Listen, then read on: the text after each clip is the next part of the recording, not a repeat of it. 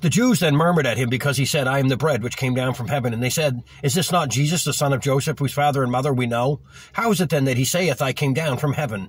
Jesus therefore answered and said unto them, Murmur not among yourselves, no man can come to me, except the Father which has sent me draw him, and I will raise him up at the last day. It is written in the prophets, and they shall be all taught of God. Every man therefore hath heard, that hath heard, listen now, and hath learned of the Father cometh unto me.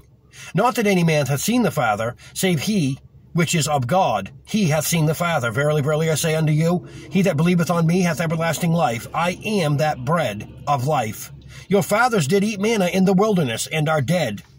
This is the bread which cometh down from heaven, that a man may eat thereof and not die. I am the living bread which came down from heaven. If any man eat of this bread, he shall live forever. And that and the bread that I will give is my flesh which I will give for the life of the world.